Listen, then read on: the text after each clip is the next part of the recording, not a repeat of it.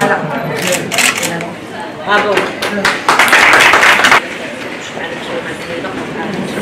فتحنا عاد centre يعني أول centre centre d'écoute في المغرب اللي يقدر يستقبل أي طفل أي واحد اللي حس ولا عاش شي حالة نفسية ولا اجتماعية ولا قانونية اللي كتخليه ما يقدرش يكمل الدراسة ديالو.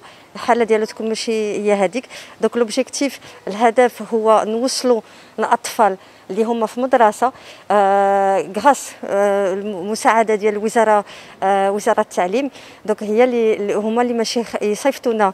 عند الناس اللي هاد الأطفال اللي ماشي يجيو عندنا باش نقدروا اما نساعدوهم نعاونوهم آه ولا نعملوا لهم l'accompagnement ولا la réorientation نشوفوا شكون يقدر يكمل معاهم المسيرة باش يقدروا يكملوا الدراسة ديالهم. هذا المعهد هذا آه، سيمكن من استقبال تلميذات وتلاميذ يعني آه، إقليم طنجة الموجود المؤسسات التعليميه الموجوده فوق تراب الإقليم من أجل آه، تقديم لهم خدمة الدعم والتوجيه والمواكبة خصوصا الدعم الاجتماعي وذلك بهدف يعني الحد من ظاهرة الهدر المدرسي خصوصا التي تعاني منه المؤسسات التعليمية. اذا هذا هذا المركز هذا سيتم يعني الاشتغال فيه عن طريق مجموعة من المتطوعين يعني المعهد يتوفر على شبكة من المتطوعين اللي غادي يشتغلوا في هذا المعهد من أجل تقديم الخدمات الاجتماعية آه، كل حسب الحالات. هذه لأول مرة سيتم إطلاق مركز استماع والتوجيه داخل مؤسسة المعهد الوطني للعمل الاجتماعي.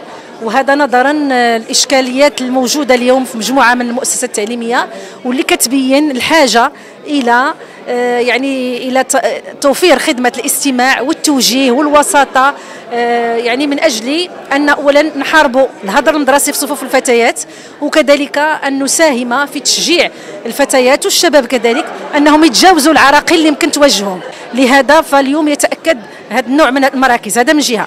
المسألة الثانية هو ان المعهد الوطني للعمل الاجتماعي الشابات والشباب الطلبة ديالنا اللي كيتكونوا غادي تكون لهم فرصة أنهم ما يبقاوش فقط غير في المجال النظري ولكن الاحتكاك عن قرب مع المشاكل الاجتماعية اللي كاينة في المحيط ديالهم. وهذه ستكون مناسبة لتجويد التكوين لأن إحنا دائما في نهاية التخرج كاين تداريب يعني كاين دي ستاج اليوم غيولي عندهم الانفتاح على المحيط على المؤسسات. طبعا بإشراف تام من يعني المكلفين هنا في إدارة المعهد وكذلك من شبكة المتطوعين من أطباء ومحامين وأساتذة اللي تطوعوا باش يشتغلوا مع المعهد في هذه الخدمة النبيلة والإنسانية. يعني كل